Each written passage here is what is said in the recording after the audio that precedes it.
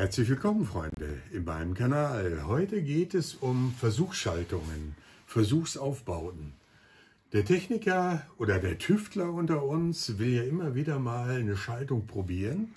Und dafür gibt es verschiedene Stecksysteme. Das ist so ein Profi-Stecksystem, was ihr möglicherweise auch aus der Berufsschule her kennt, wo durch einzelne Modulen, die man beliebig zusammenstellen kann, verschiedene Schaltungsmöglichkeiten ausprobiert und experimentell untersucht werden können. Und um dieses Thema werden wir uns heute speziell kümmern.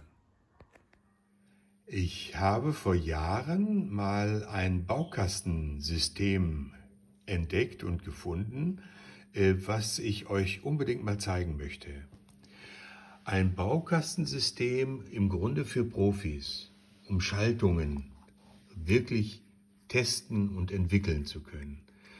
Dieses Baukastensystem besteht aus so kleinen, wie ihr hier erkennen könnt, Klötzchen, ja, Acryl, mit Magneten. Ein Magnet immer nach unten ausgeführt, um ihn auf der Platte arretieren zu können. Und für die Kontaktweitergabe, in diesem Fall bei diesem Widerstand 4,7 Kiloohm, rechts und links wieder ein Magnet angebracht, der jetzt im Grunde die elektronische oder elektrische Verbindung für diesen Widerstand nach rechts und nach links im Grunde ermöglicht. Und auf diese Art und Weise kann ich im Grunde Block für Block aneinander rein und damit meine Schaltungen entwickeln, ausprobieren, in der Praxis testen, verändern, wie auch immer ich arbeiten und variieren möchte. Und das Schöne ist einfach, wenn ich äh, sämtliche in Frage kommenden Bauteile in dieser Form natürlich dann, wie hier den Taster zum Beispiel auch als Beispiel, äh, wenn ich das so in Mengen hätte, dann hätte ich also für als Profi unglaubliche Möglichkeiten dann im Grunde hier zu jonglieren. Ja? Und dieses Verfahren finde ich so genial, ja, dass ich äh, gerne mal gewusst hätte, und da hoffe ich auf euch, wer eigentlich der Hersteller von diesem Stecksystem war. Ne? Es ist leider an dem Kasten nicht erkennbar, den ihr hier seht. Ihr seht also noch verschiedene Leitungsverbinder und auch Bauteile. Aber wir kriegen äh, den Hersteller hier einfach nicht raus, weil offensichtlich hier einiges äh, quasi, was hier mal eingeklebt war, äh, verloren gegangen ist. Also wenn von euch jemand ähm, nachvollziehen kann, äh, wer hier quasi äh, der Hersteller von diesem Produkt ist, äh, gib mir das wirklich bitte mal in die Kommentare. Ein schönes Stecksystem für Profis ist auch das hier. Ja? Hier ist es mal die Digitaltechnik, wie ihr leicht erkennen könnt. Ähm, hier hat man nicht mit äh, den Magneten gearbeitet, sondern im Grunde hier mit den Steckfedern, ja, die man hier gut im Profil dann sehen könnt. Ja, und äh, ich kann im Grunde die Verbindung herstellen, indem ich jetzt hier diese Steckfeder im Grunde hier einrasten lasse und damit die Verbindung im Grunde wieder unter den Modulen herstellen kann. Das, was jetzt hier zusammengesteckt ist, macht natürlich überhaupt keinen Sinn. Also ich wollte euch auch nur dieses Stecksystem zeigen. Also nicht, dass ihr vermutet, das sei jetzt irgendeine sinnvolle Schaltung. Ne? Auch dieses äh, Stecksystem ist äh, einfach genial. Also für Bastelprofis, sage ich mal, die also in irgendeiner Form äh, ein bisschen, ähm, sagen wir mal, auch entwicklungsbezogen arbeiten wollen. Äh, für die, meine ich, sind solche Stecksysteme einfach fantastisch. Ne? Wird wahrscheinlich nicht unbedingt preiswert äh, gewesen sein, ne?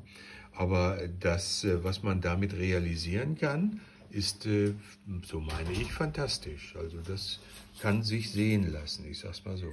Ein richtig schönes Stecksystem ist auch das, was ihr hier im Bild jetzt seht. Äh, ein nicht wirklich unbekannter Hersteller, ne? Ähm, der baut nach dem Lego-Prinzip im Grunde, also Lego-Steine. Ne? Dann seine Bauteile, die in so Klötzchen äh, verbaut sind, haben unten zwei Nobben, die sogar horizontal wie auch vertikal jetzt auf diese Grundplatte hier aufstecken kann. Und damit bin ich jetzt in der Lage, richtig nach Stromlaufplan im Grunde jetzt hier meine Schaltungen zu realisieren. Eigentlich eine recht geniale Idee. Ähm, das einzige, ja, der Nachteil, möchte ich mal wieder sagen, sind jetzt die sogenannten Verbinder. Ne? Denn diese Verbinder, die ich brauche, um jetzt ähm, elektrische Schaltungen äh, zu realisieren, bestehen im Grunde hier aus solchen Stöpseln. Ne? Und ich muss jetzt mit den Stöpsel im Grunde hier meine Drahtverbindung einklemmen. Also im Grunde äh, steckt man hier den Draht zunächst erstmal in das Loch vor. Gar nicht so einfach, wenn man durch die Kamera guckt. Und äh, dann kommt dieser Stopfen da oben drauf und äh, damit ist dann dieser Kontakt hier im Grunde gegeben. Ist so, ein, so, eine gewisse Fummelei, äh, also nicht so ganz so einfach beim Erstellen äh, einer Schaltung, neigt auch so ein bisschen zu Wackelkontakten oder Unterbrechungen, äh, weil ich beim Zusammenstecken eben vor allen Dingen dieser Leitungsverbinder nicht sauber aufgepasst äh, habe und damit im Grunde äh, eine Unterbrechung besitze in der Schaltung. Aber ansonsten ist diese Idee eigentlich äh, richtig, richtig gut. Nachdem ich über 20 Jahre mit solchen Stecksystemen zur Entwicklung meiner Schaltung rumexperimentiert habe, bin ich dann schließlich auf die Idee gekommen, mein eigenes System äh, im Grunde zu realisieren. Dieses System besteht aus solchen äh, Kunststoff, gefrästen Kunststoffklötzchen, ne, die sind einheitliche äh, Größe natürlich besitzen. Ich habe dann nur zwei Varianten im Grunde. Diesen kleinen und eben den größeren ähm, Klotz, den wir hier sehen. Und äh, eingebaut sind jeweils Bananenbuchsen. Und äh, diese Bananenbuchsen sind dann natürlich mit den Bauelementen, die sich jetzt jeweils hier oben drauf befinden, entsprechend verschaltet. Ne? Und wenn ich natürlich alle für meine Experimente in Frage kommenden Bauelemente dann auf diese Art und Weise äh, hier auf mein äh, Klötzchensystem verbaut habe, kann ich natürlich mit den entsprechenden ähm, ja, Laborstrippen und äh, Brücken äh, natürlich dann im Grunde auch wieder nach Stromlaufplan meine Schaltung wunderbar hier aufbauen, im Grunde auf jedem Tisch. Ne? Äh, ich habe unten äh, die Klötze nochmal vergossen mit so einem Silikon, um einfach dann mechanisch auch eine gewisse Sicherheit hier zu haben, damit mir da nichts abreißt. Und das ist eigentlich perfekt, wenngleich der Aufwand natürlich äh, recht groß ist. Ne? Äh, später, viel später, eigentlich bin ich noch auf die Idee gekommen, ein anderes Verfahren zu machen, was ihr hier seht. Es gibt ja statt diesen äh, hier jetzt noch verbauten Standard-Bananenbuchsen in 4 mm, gibt es ja noch diese klemmbaren Bananenbuchsen, ne? also die ich im Grunde hier ähm, aufschrauben kann. Und dann erscheint ja hier dieses berühmte Klemmloch, was wir da ja erkennen können. Und ich, im Grunde kann ich jetzt hier mein Bauelement hier einklemmen, ne? habe im eigentlichen Kästchen jetzt keine weiteren Bauteile mehr und kann auf diese Art und Weise äh, für meine Schaltungen jetzt im Grunde jedes Bauteil hier anordnen und entsprechend dann wieder mit meinen Laborkabeln verbinden. Äh, diese Bananenbuchsen sind nicht ganz so preiswert wie das, was wir hier ähm, zum Beispiel vorhin äh, gesehen haben. Also diese Bananenbuchsen ist ein bisschen eine Kleinigkeit teurer, aber ich brauche auf diese Art und Weise, dass ich im Grunde ähm, so arbeite, äh, brauche ich natürlich auch viel, viel weniger von diesen äh, Bauteile Klötzchen, könnt ihr euch ja vorstellen, weil ich komme hier problemlos mit 30, 35 Klötzchen aus und ich kann jetzt äh, vor allen Dingen auch defekte Bauteile, wenn sie irgendwann mal hops gegangen sind, natürlich auf diese Art und Weise schnell wieder hier austauschen und im Grunde mit meinen Experimenten fortfahren. Ne? Also für mich ist das ähm, für professionelle Versuche vor allen Dingen, ist das hier für mich eigentlich äh, das, ähm, ja, äh, also aus meiner Sicht jedenfalls interessanteste System. Äh, es gibt noch ein weiteres, zeige ich euch jetzt auch noch. Eine im Augenblick ganz stark verbreitete Variante sind natürlich diese Steckbretter. Ne? Die sind sozusagen hier in Linie durchkontaktiert und mit diesen Steckbrettern kann ich jetzt meine Bauteile im Grunde nach Stromlaufplan, den ich mir dann irgendwie vorgenommen habe, ne, äh, zum Beispiel hier jetzt äh, vorstecken und die Kontakte relativ schnell durch Einstecken des Bauelementes äh, im Grunde herstellen.